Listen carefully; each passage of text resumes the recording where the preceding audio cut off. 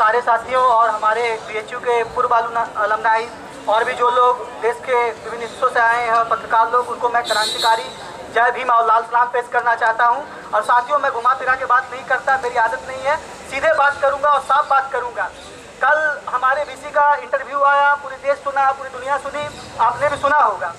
साथियों, मैं पिछले पाँच सालों से उस विश्वविद्यालय का छात्र हूँ और हर एक जर्रे जर्रे से मालूम है कि वहाँ पे क्या होता है, क्या चल रहा है। आप लोग आँख मूंद करके देखते हैं या नहीं देखते हैं मुझे नहीं मालूम। है देख रहा हूँ चीज़ों को जो सरकार आई 2014 के बाद, उसके बाद जो नियुक्तियाँ हुई विश्वविद्यालयों में, जितने भी संगी नमूने थे, जिनको कुछ नहीं आता जाता था, उनको विश्वविद्यालय का कुलपति का पद दे दिया दे दिया गया। आप आशा कर सकते हैं कि अगर एक ऐसे व्यक्ति को जो कुछ नहीं जानता हो, जिसको कुछ नहीं आता हो, उसको आप अगर एक ऐसे विश्वविद्यालय का सेंट्रल यूनिवर्सिटी को कुलपति बनाएँगे तो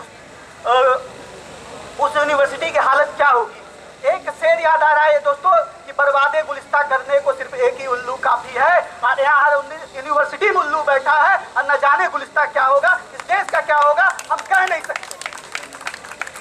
तीन लोग अभी हैं। अभी पूरे सिनेरियो में तीन लोग हैं। देश के ज़िले इलाही, जो कि दिल्ली में बैठे हुए माननीय प्रधानमंत्री नरेंद्र मोदी जी, उनकी भी कोई बेटी नहीं है। योगी आदित्यनाथ जो यूपी में बैठे हैं, उनकी कोई बेटी नहीं है। और जीसी त्रिपाठी की बेटी है या नहीं, मैं नहीं जानता। लेकिन मैं उनसे सवाल इनसे पूछना चाहता हूँ कि अगर जिनकी बेटियाँ नहीं है तो वो बेटियों की इज़्ज़त क्या करेंगे? वो बेटियों को कैसे बचाएँगे? मुझे नहीं समझ में आता।